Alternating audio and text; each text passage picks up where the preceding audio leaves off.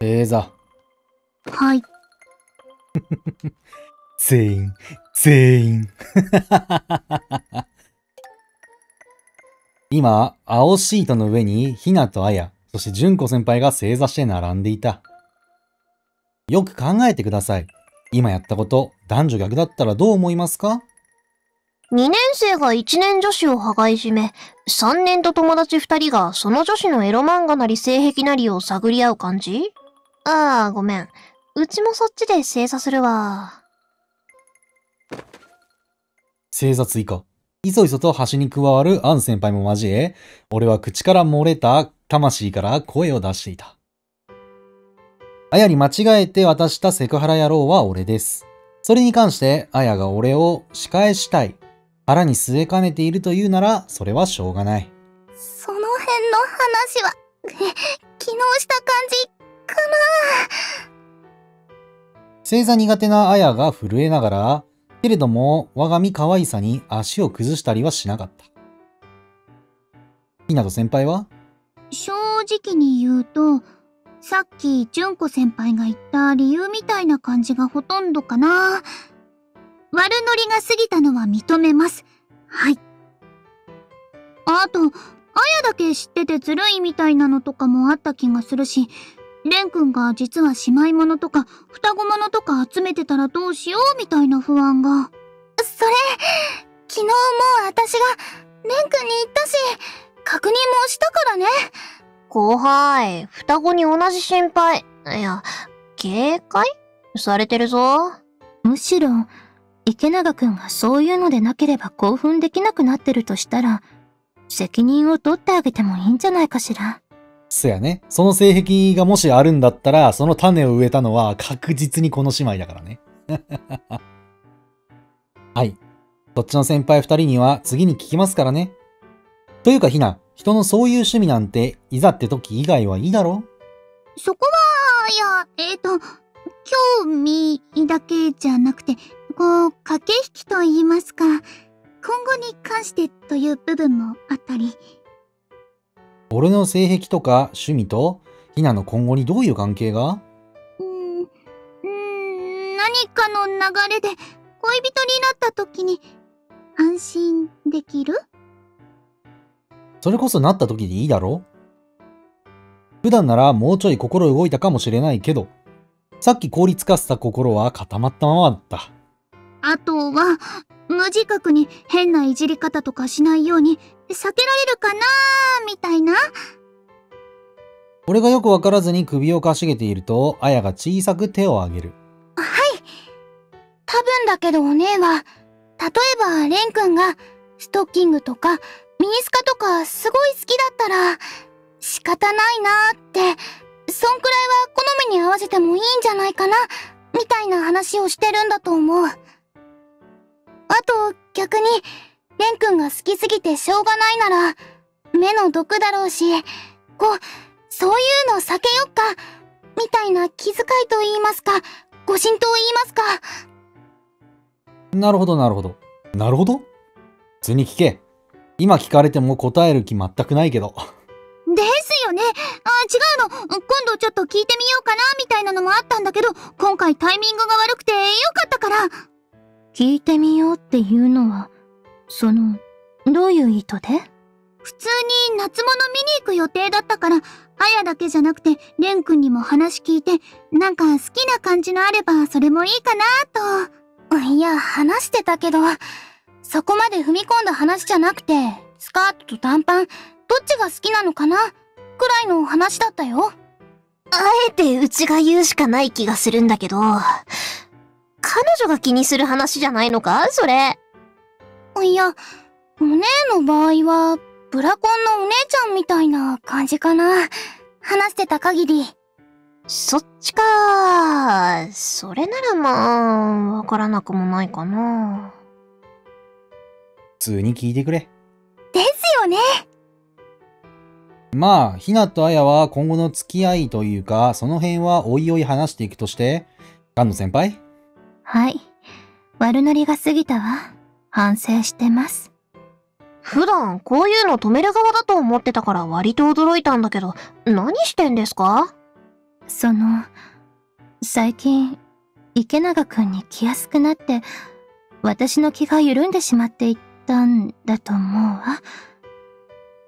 気を許してくれるっていうのは嫌ではないんですけどね。あと、理由を挙げるのなら、私のテーマとあまりにも合致しすぎていたし、他にこんな話聞ける機会ないと思って。男子のエロ動画のラインナップとか確かに普通聞けないし、純子先輩ならなおさら聞ける相手いないよな。俺に聞かれても答えなかったと思いますしね。でしょうね。反省しているわ。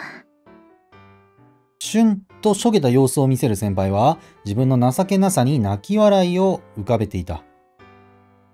こっちも死のうと思うほど怒ってるわけでもないし、恥ずかしくはあるけれど、絶対に許さないと思っているわけでもない。ただ、ここまでされたらきちんと文句を言って釘を刺しておかないと、むしろ今後付き合いづらいな、なんて考えもある。先輩も自分のテーマの扱いが難しいのは分かっている人なんでしょうから、ちゃんと慎重になってください。はい。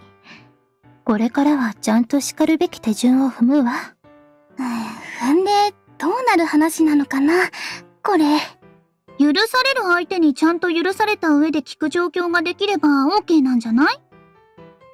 確かにその状況ができれ、出来あ出来上がれば問題はないだろう。だけどほんと後輩は正論でガンガン来るないつの間にか正座を崩してあぐらになっていた先輩がそんなことをのたまう。どう注意するとき以外に正論以外に何を言えと。今回に関しては もうちょっとそっちの感情論でもいいんじゃないかなと思ったりするけど。あー、いや、でも、そうするとすると、どう着地するかもわからないから、今のままでいいか。今、なんかひどい自己完結を見た。アン先輩も3人を止めなかった側ですからね。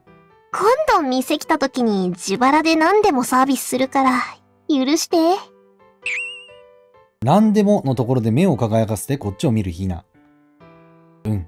多分高めのディナーメニューとか、あとエイリオムライスとか考えてるんだろうなってのはわかる。あの店って、メイドさんの持ち帰りサービス、あったっけ？同意の上なら構わないって、オーナーが言ってた気がするわね。仮にだぞ。うちがそれをやった場合、そっち3人は後輩にどういうシャイを見せるのかって話にならないか先輩の冷静な言葉に3人がお互いに目をそらし小さくうなる。それはそれとして後輩さ、変な意図全部なしで聞くけど、カメラとか好きなんだよな。好きですよ。動画より静止画の方が好みですね。それが何か？声が冷たくなってしまっているのはわかる。意図がわからないし、俺がパソコン使いたいのもその辺が理由だ。自分のジオラマ撮影の手伝いでもさせたいのかしら？そういうのもあるし、そういう機器の使い方なら、それもうちそこそこわかるから、なんかあったら聞いていいぞと思って。それは助かりますけど。そういえばレン君、ポケットにデジカメ入れてて、学校の行き帰りとか、ちょくちょく撮ってるよね。空とか風景とか。そのために持ち歩いているからな。子供の頃は綺麗な風景を見たらそれを絵に起こしたいと思っていた。言葉では俺の受けた気持ちは全然伝わらないと思っていた。けれども、それなら写真も悪い手ではないんじゃないかと思うようになった。もっとも、やっぱり目で見たものと写真で切り取ったものは違う。そして俺は写真が上手くなりたいというわけでもないらしい。だから絵と同じ自分の見た綺麗なものを伝えられる形にしたい。オリジナルを精密に再現しなくてもいい。その綺麗ささえ表現できできればいいから、そのために写真の画像を加工する。それが今俺のやりたいことだった。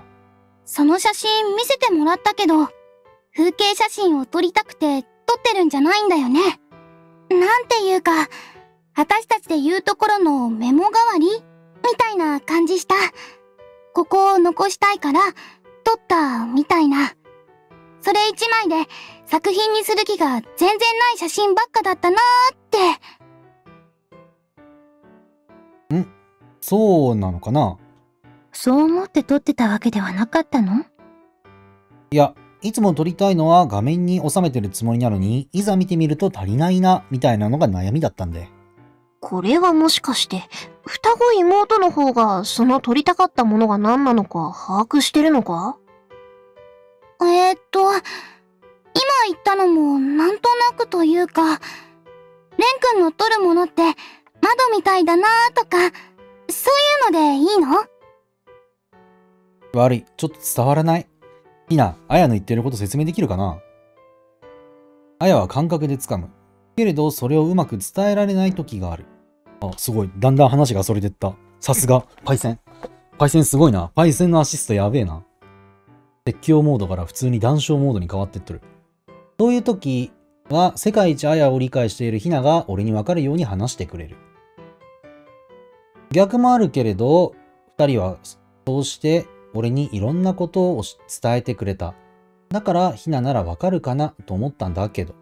あ、ごめん。ちょっと別のこと考えてた。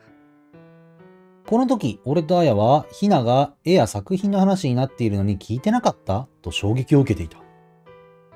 美術、特に絵の話が言葉通り三度の飯より好きなひなが考えてた別のことってなんだ？いや、大抵は他の美術関係のところに意識をやってるんだけど。ちょっとね、私の通訳の仕事、休まないでよ。それで、何考えてたの？あやも身勝手だなぁと思うけれど、これもいつも通り。ただ、何を考えていたのかは気になる。うーん、エッチしながら撮るのは、レン君の趣味なのかって思ってて。けど、それって実際には邪魔じゃないのかなとか。あれ？もしかしてずっと、そんなこと考えてた？さすがひな。気になることがあったら他のことを遮断して一人で考え込むことはあったし、こうして話題がワンテンポずれることも少なくない。だからこそそれを当たり前みたいに分かっている俺たちとつるんでいたり、だから昔は他に友達がいなかったりしたことをふと思い出すけれども。ひな、あや、帰ったら真面目な話があります。俺たちの今後の付き合い方にも関わります。わかってるな本当にヨタ話や俺が恥ずかしいだけで済む話で終わればいいのに。けれども、こんな話を何度されると、何度もされると俺の心が持たない。それに昨日から人生初胃がキリキリするという感覚を知ってしまっていた。どこまでも真面目な子ね。不真面目よりいいと思うし、もしそうなった場合にはどういうことを言い出せばよかったのかと聞くとも怖い。聞くのも怖い。ああ、後輩、辛くなったら言えよ。いい胃薬があるから。なんでそんなものを用意しているのか、と聞くのも怖い。お、お、ごめん、レイ君。あ、でも、私本当にそんな気にしてないからね。と、ひなは言うけれど、今まで曖昧なところもあった。男女としての関係。俺も男でそういうものに興味もあって、実際に持っている。それに対しての意識や警戒はあってほしいなと思ったけれど、それがないというのは、ひなを甘く見すぎかとも思うのだった。人だってちゃんと子供のままじゃないのは分かっていた。